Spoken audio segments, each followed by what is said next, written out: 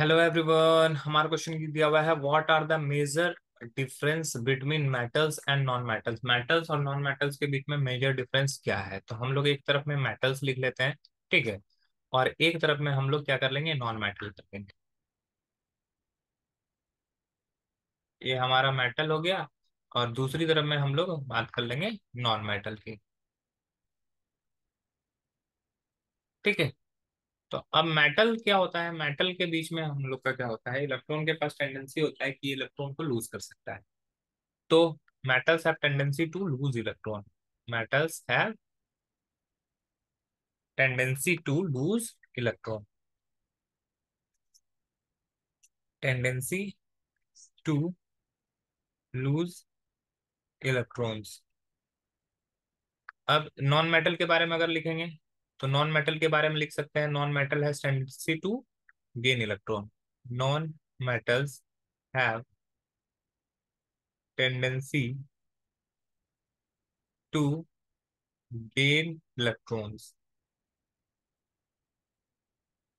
अब यहाँ पे मेटल के पास क्या होता है ये इलेक्ट्रॉन लूज करने का टेंडेंसी होता है, जबकि नॉन मेटल के पास इलेक्ट्रॉन गेन करने का टेंडेंसी होता है। अब दूसरा, दूसरे की बात करें।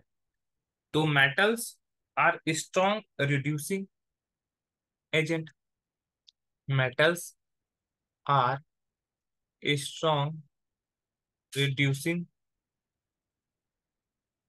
agent ये स्ट्रॉन्ग रिड्यूसिंग एजेंट होता है, जबकि नॉन मेटल जो होता है वो ऑक्सीडाइजिंग एजेंट होता है। Non metals are strong oxidising agent ये ऑक्सीडाइजिंग एजेंट होता है। अब इसका आयनाइजेशन एंथैल्पी जो होता है, वो क्या होता है? Have low ionisation enthalpies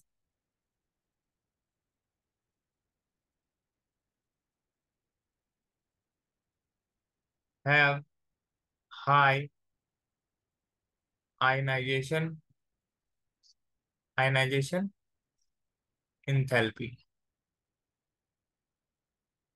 तो ये डिफरेंस है। इसके अलावा लो इलेक्ट्रोनिगेटिविटी होता है मेटल्स का। इसमें हाई इलेक्ट्रोनिगेटिविटी होता है नॉन मेटल्स में।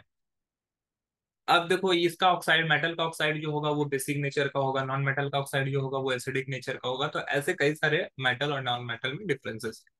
ये तो ये केमिकल प्रॉपर्टी के आधार पर और फ़िज़िकल प्रॉपर्टी के आधार पर भी बहुत सारे डिफरेंसेस हैं। जैसे कि मेटल्स लस्ट्रस होता है सॉरी मेटल जो होता है वो डक्टाइल होता है मेलिएबल होता है नॉन मेटल में ऐसा कुछ नहीं होता। है मेटल इलेक्ट्रिसिटी का कंडक्टर होता है नॉन मेटल कंडक्टर नहीं होता है। वहाँ पे कुछ एक्सेप्शन ज़रूर दिखते हैं, जैसे ग्रेफाइड ग्रेफाइड नॉन मेटल होते हुए भी इलेक्ट्रिसिटी कंडक्ट कर सकता है। तो ऐसे कई सारे डिफरेंस हैं मेटल और नॉन मेटल आई होप ये क्वेश्चन आपको समझ में आया होगा. Solve thank you